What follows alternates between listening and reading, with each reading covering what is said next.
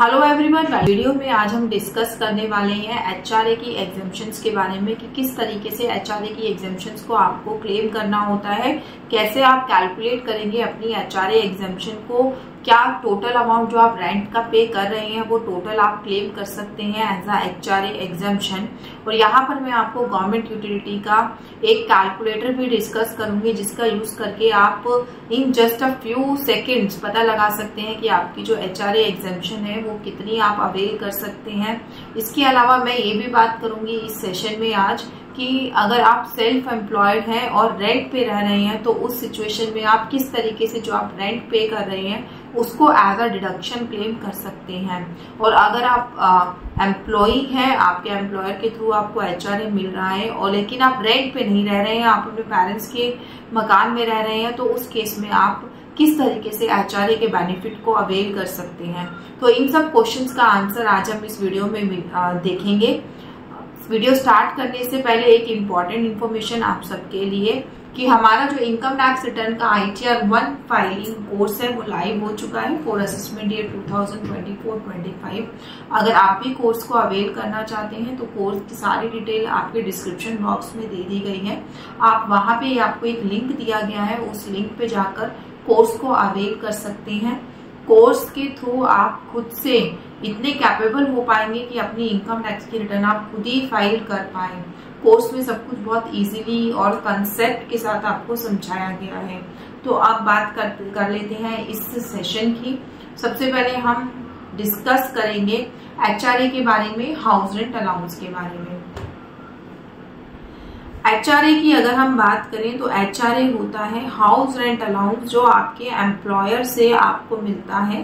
ठीक है ये आपके सीटीसी का पार्ट होता है आपके सैलरी स्ट्रक्चर का पार्ट होता है।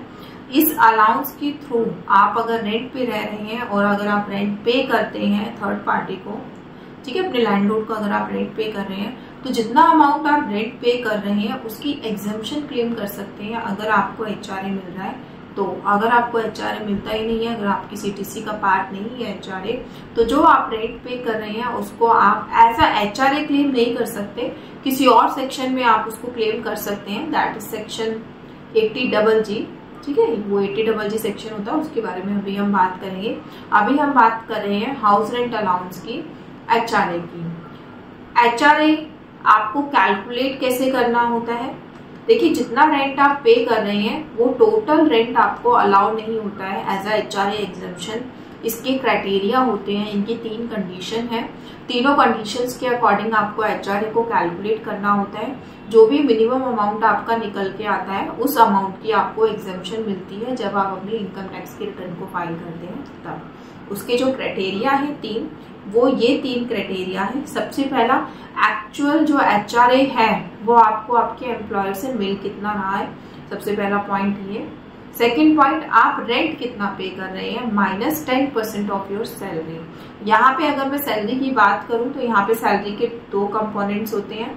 आपकी basic salary plus dearness allowance okay salary का मतलब यहाँ पर ये है।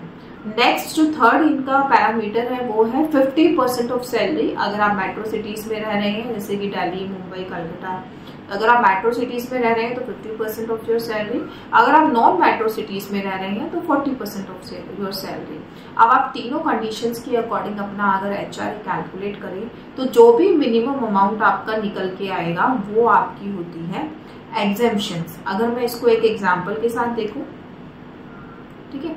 लेट सपोज़ मिस्टर ए है, ठीक है? इसकी जो पूरे साल की सैलरी है फाइव लाख रुपीज़ है, ठीक है? रेंट ये पे कर रहा है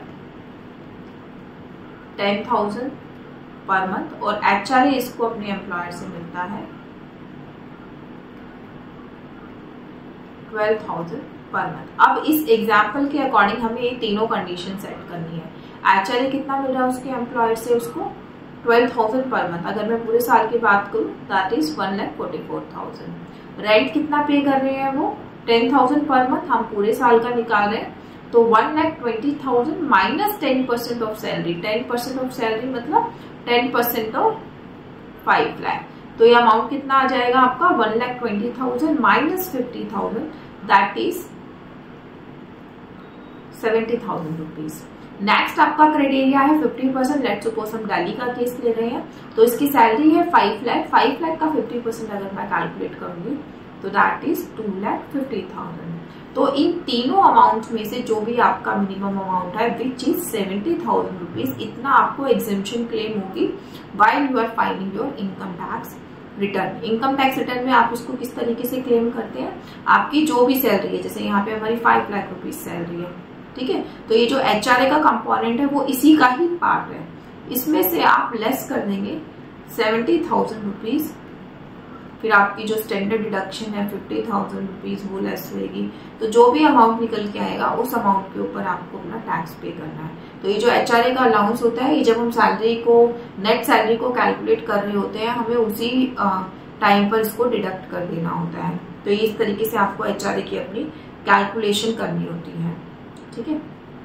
इस कैलकुलेशन का अगर मैं आप, ये तो हमने अभी जैसे फिजिकली कैलकुलेशन करी है ऑन अ पेपर इस कैलकुलेशन को करने के का जो गवर्नमेंट का कैलकुलेटर भी है, अब उससे भी देख लेते हैं आप इसको कैसे कैलकुलेट करेंगे। सेम एग्ज़ाम्पल मैं वहाँ पे ये हमारा वो कैलकुलेटर जो गवर्नमेंट कैलकुलेटर है जिसकी मैं बात कर रही थी। इसका जो लिंक है, मैं डिस्क्रिप्शन बॉक्स में मेंशन कर दूँगी। आप वहाँ से इस कैलकुलेटर को एक्सेस कर सकते हैं। ये जो कैलकुलेटर है, ये इनकम टैक्स डिपार्टमेंट ने दिया हुआ है। अब इस कैलकुलेटर के थ्रू देख लेते हैं कि आप किस तरीके से अपनी लाइबिलिटी को कैलकुलेट कर सकते हैं। यहाँ पर भी देखिए, सबसे पहले ये आपसे पूछ रहा है बेसिक सैलरी हमारे एग्ज़ाम्पल में सैलरी हमने ली थी फाइव लाख रुपीज़ हमने यहाँ पे फाइव लाख रुपीज़ को मैंशन कर दिया। ओके फिर उसके बाद ये पूछ रहा है, अगर सैलरी के अलावा आपका कोई डीए भी आपको मिलता है तो यहाँ पे आपको डीए का अमाउंट लिखना है। हमारे केस में कुछ नहीं है, हमने ज़ीरो मेंशन कर दिया। देन कमीशन अगर आपको टर्नओवर की कमीशन भी कुछ मिलती है तो वो भी आपको मेंशन करना है। हमारे केस में नहीं है, हमने ज़ीरो मेंशन कर दिया। एच आर ए रिसीव्ड मेरे एग्ज़ाम्पल के अकॉर्डिंग इसको कितना मिल रहा था? वो मिल रहा था इसको ट्वेल्व थाउज़ेंड पर मंथ तो यहाँ पर हम कितना लिख देंगे? पूरे साल का one lakh forty four thousand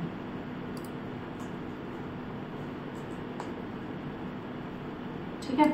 next था रेंट पे पूरे साल का इन्होंने जो रेंट पे किया था तो वो वन लाख ट्वेंटी थाउज़ेंड पे किया था।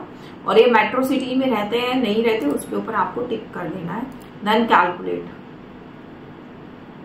अभी देखिए कितना सिंपल है कैलकुलेटर के थ्रू उसको कैलकुलेट करना। इसने अपने आप आपका निकाल के दे दिया कि आपका जो एच है one lakh forty four thousand जो आपके एम्प्लॉयर से एच मिल रहा है, उसमें से सेवेंटी थाउज़ेंड अमाउंट जो है आपका एग्जाम्प्ट है। ठीक है? एग्जाम्प्टेड एच सेवेंटी थाउज़ेंड की आप एग्जामेशन क्लेम कर सकते हैं और जो आपका टैक्सेबल एच है, वो होगा आपका सेवेंटी फोर थाउज़ेंड रुपीज़ तो ये एक छोटा सा कैलकुलेटर है जो इनकम टैक्स की वेबसाइट पे दिया गया है। आप इस कैलकुलेटर के थ्रू खुद से बहुत easily in just a few second calculate कर सकते हैं कि आपको एच की कितनी एग्जामेशन मिलने वाली है। फिर भी रिपीट अब बात कर लेते हैं एचआरएस की कुछ कंडीशंस हैं क्या क्या कंडीशंस फुलफिल होंगी, तभी आप एचआरए को क्लेम कर सकते हैं। सबसे पहले जो इंडिविजुअल है, वो सैलरीड एम्प्लॉय होना चाहिए और उसको एच मिल रहा होना चाहिए। ऐसा नहीं है उसका सीटीसी एचआरए जो है उसका सीटीसी का पार्ट ही नहीं है और आप एग्जामेशन की बात कर रहे हो तो ऐसा नहीं होना चाहिए। वो एक्चुअली रेंट पे कर रहा हो एक्सपेंस इनकर्ड कर रहा हो, ठीक है? तीसरी चीज़ rented accommodation must not been owned by individual उस इंडिविजुअल के नाम पर कोई भी प्रॉपर्टी नहीं होनी चाहिए। या फिर जहाँ पे वो रह रहा है, वो उस जगह पे उसकी कोई प्रॉपर्टी नहीं होनी चाहिए। सेम सिटी में उसके नाम पे कोई प्रॉपर्टी नहीं होनी चाहिए, उसके उसके नाम पे कोई प्रॉपर्टी नहीं होनी चाहिए। तभी वो एच का क्लेम जो है अवेल कर सकता है। रेंट पे कर रहा है एनुअली तो उसको पैन की डिटेल्स उसके पास होनी चाहिए। ये पैन कार्ड उसको जो है अपने एम्प्लॉयर को भी डिपॉजिट कराना होता है बिफोर अवेलिंग दिस एग्जामेशन तो यहाँ पर ये सिटी की बात कर रहे हैं कि सेम सिटी में आपके नाम का कोई मकान नहीं होना चाहिए। अगर आपका किसी और सिटी में मकान है तो आप इस एग्जामेशन को क्लेम कर सकते हैं। इसको भी मैं अगर मैं एग्ज़ाम्पल के साथ समझू लेट सपोज़ आप जो जॉब कर रहे हैं, वो कर रहे हैं गुरुग्राम में, ठीक है? और आप रहते भी वहीं हैं, आप रेंट पे भी वहीं रहते हैं। और आपके नाम से एक जो प्रॉपर्टी है, वो है बैंगलोर में।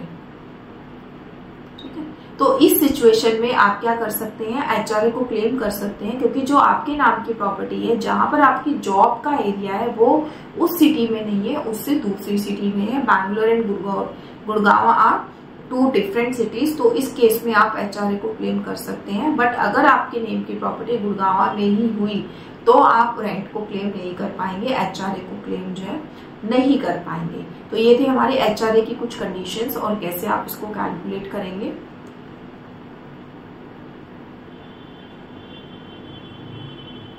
Now our next topic is eighty double G deduction for rent pay ये सेक्शन एप्लीकेबल होता है उन लोगों पे जो कि सैलरीड एम्प्लॉय नहीं है, वो सेल्फ एम्प्लॉयड है, और या फिर उनके एम्प्लॉयर से उनको एचआरए नहीं मिल रहा, ठीक है? अगर आपको एचआरए मिलता है, आप रेंट पे रहते हैं तो आप एचआरए के थ्रू रेंट की रिबेट को क्लेम कर सकते हैं, और अगर आप रेंट रेंट पे तो रहते हैं बट आप सेल्फ एम्प्लॉयड हैं या फिर आपके एम्प्लॉयर के थ्रू आपको एचआरए नहीं मिल रहा है तो आप सेक्शन एटी डबल जी में इस रेंट की डिडक्शन को क्लेम कर सकते हैं। 80 double G allow an individual to claim deduction on the rent that is paid towards the residential accommodation रहने के लिए जो आप रेंट पे कर रहे हैं, उसकी डिडक्शन आपको 80 डबल जी में मिलती है। 80 डबल जी सेक्शन जो है, वो चैप्टर सिक्स ए की जो डिडक्शन होती है ना एटीसी एटीडी एटीजी तो उन्हीं डिडक्शन में से एक है एटी डबल जी यहाँ पे आपको कितनी डिडक्शन मिलती है? यहाँ पर भी ऐसा नहीं है कि जितना आप रेंट पे कर रहे हो, उतनी टोटल आपको डिडक्शन मिल जाएँगी। इसके भी तीन क्राइटेरिया है। इन तीन क्राइटेरिया को फुलफिल करने के बाद जो भी मिनिमम अमाउंट आएगा, उतनी आपको डिडक्शन यहाँ पे मिलती है।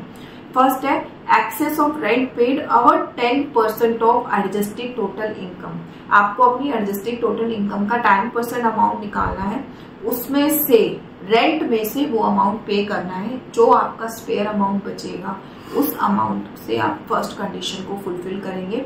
सेकेंड है आपकी 25 percent of adjusted total income आपकी एडजस्टेड टोटल इनकम का 25 परसेंट थर्ड है 5000 per month that is 60000 per annum का रेंट आपको जो है अलाउ होगा। तो इन तीनों में से जो भी मिनिमम अमाउंट होगा, वो आपको अलाउ होगा। अब आप यहाँ पे देखिए एडजस्टेड टोटल इनकम यानी कि ए टी आई ठीक है, यहाँ पे दो बार रिपीट हो रहा है। ए टी आई आप किस तरीके से डिफाइन करेंगे?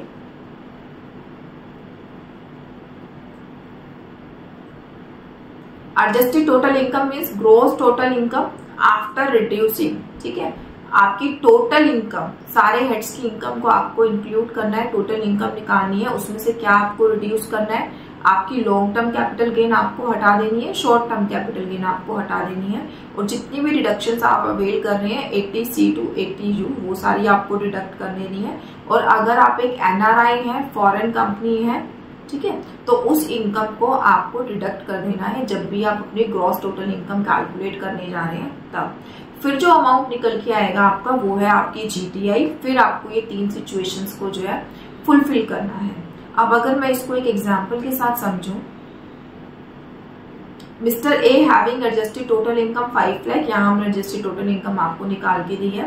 लीव इन मुंबई मुंबई में मतलब मेट्रो सिटी में रह रहे हैं आप and rented apartment and pay a rent fifteen thousand per month so this rent per year is one lakh eighty thousand अब इस सिचुएशन में मुझे कैलकुलेट करनी है। अब है अगेन तीन कंडीशन ठीक है? First second third first condition हमारी क्या थी?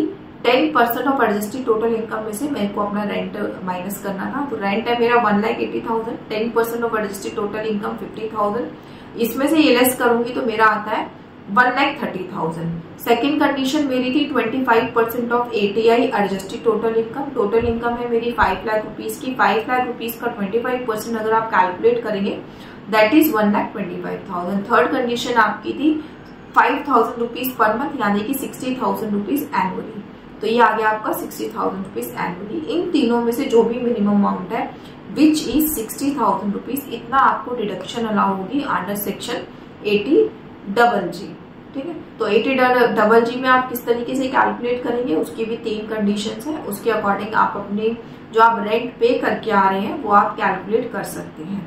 एटी जी को कैलकुलेट करने के लिए आपको एक फॉर्म होता है कैलकुलेट मतलब अवेल करने के लिए एक फॉर्म होता है आपका फॉर्म टेन बी ए ये फॉर्म आपको फिल करना होता है। ये फॉर्म आपको कहाँ जाके मिलता है? एटी एटी डबल जी को क्लेम करने से पहले आप क्या करेंगे? अपने इनकम टैक्स की वेबसाइट पे लॉग इन करेंगे।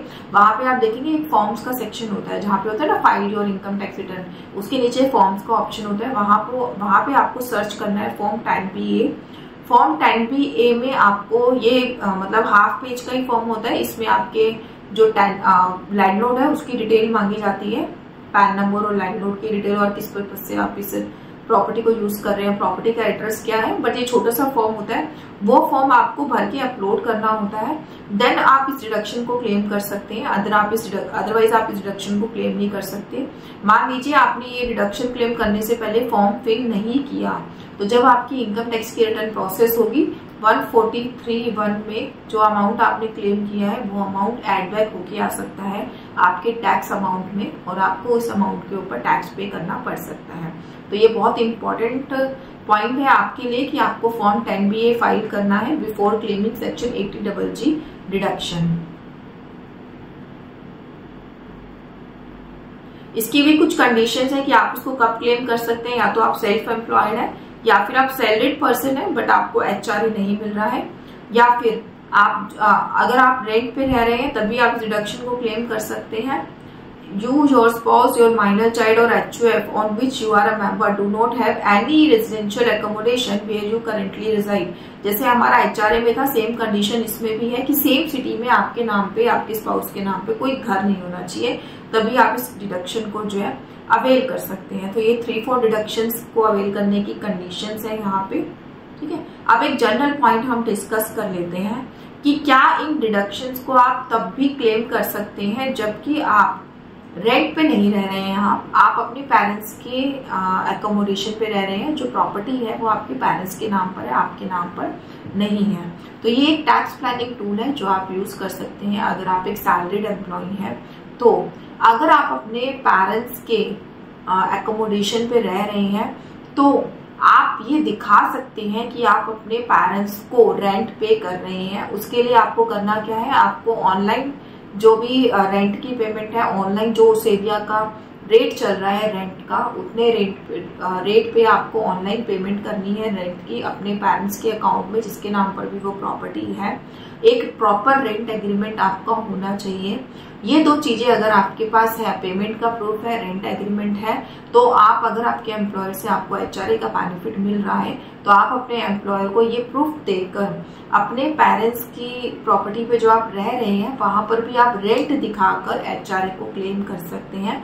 बट इसमें एक कंडीशन आती है इनकम टैक्स डिपार्टमेंट की तरफ़ से कि अगर आप अपने पेरेंट्स को रेंट पे कर रहे हैं तो जो आप रेंट अपने पेरेंट्स को दिखा रहे हैं, उतनी रेंटल इनकम आपके पेरेंट्स के नाम पर टैक्सेबल होगी, जिसके भी नाम पर वो प्रॉपर्टी है मदर या फिर फादर अगर दोनों के नाम पे फिफ्टी फिफ्टी है तो दोनों के नाम पे वो रेंटल इनकम फिफ्टी फिफ्टी जो है टैक्स होगी उनके हैंड्स में। अगर मान लीजिए आप एच तो दिखा रहे हैं बट पेरेंट्स के नाम पर रेंट नहीं दिखा रहे तो वो भी गलत है क्योंकि उन आपके ए एस में भी शो होगा कि आप रेंट पे कर रहे हैं। उनके ए एस में भी ये बात शो होने वाली है कि उनको इतने अमाउंट का रेंट रिसीव हो रहा है इस पर्टिकुलर पर्सन के नाम से। ठीक है तो उनकी रिटर्न में भी ये ज़रूरी है कि आप ये दिखाएँ कि वो रेंट रिसीव कर रहे हैं। सो so, ये थी छोटी सी वीडियो हमारी एच के रिगार्डिंग कि किस तरीके से आप जो आप रेंट पे करके आ रहे हैं, उसको क्लेम कर सकते हैं अपने इनकम टैक्स की रिटर्न में। वीडियो आपको पसंद आया हो तो वीडियो को लाइक और हमारे चैनल को सब्सक्राइब ज़रूर करिएगा। एंड कोर्स कोर्स आप अवेल कर सकते हैं हमारा आई वन फाइलिंग का। हमने सारी उसकी डिटेल अपने डिस्क्रिप्शन बॉक्स में मेंशन कर रखी है। Thank you